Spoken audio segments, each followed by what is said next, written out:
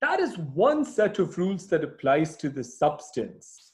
Having said that, there are other laws that can apply to the arbitration, and that's where we look at the law applicable to the arbitral seat.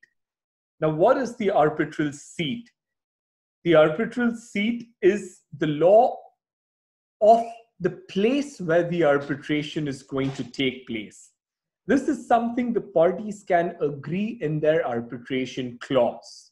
This is different from the law applicable to the substance of the dispute.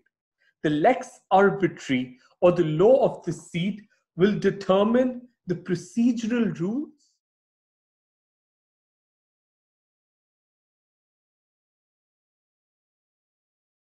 Let's take a look at the regime generally, right?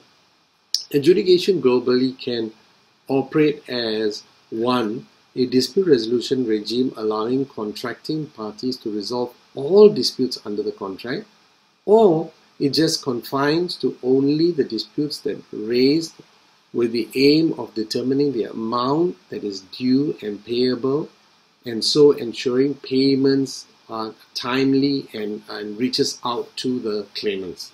Okay, so you, you, you appreciate, you have to appreciate that it can either be for just payment claims or it could resolve disputes. And I'll show you examples of how that is. Essentially, with adjudication, there are two broad manners in which adjudication can take place.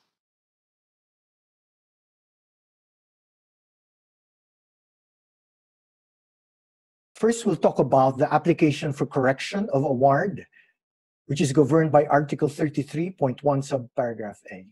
A party can avail of this within a limited period of 30 days from receipt of the award.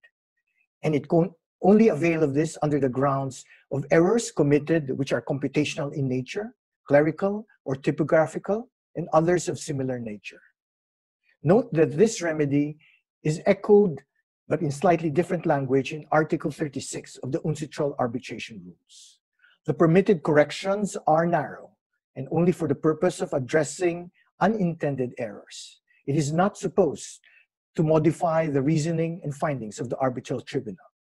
An example of a typographical error is that in the body of the final award, the tribunal speaks of granting a claimant 100 million US dollars, but in the dispositive portion, it inadvertently only mentions a grant of 10 million US dollars.